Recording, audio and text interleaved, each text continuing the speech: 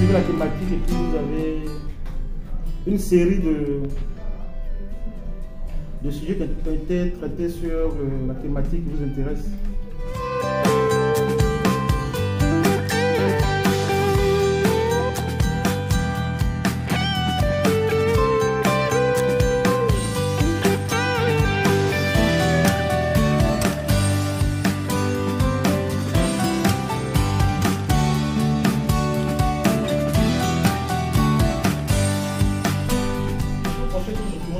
Important qui va vous permettre d'avancer dans la rédaction de votre mémoire.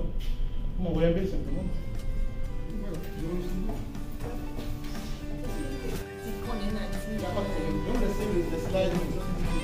Les slides.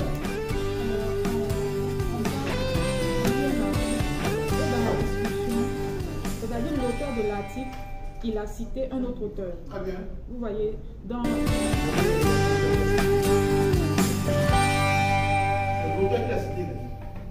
있는데요?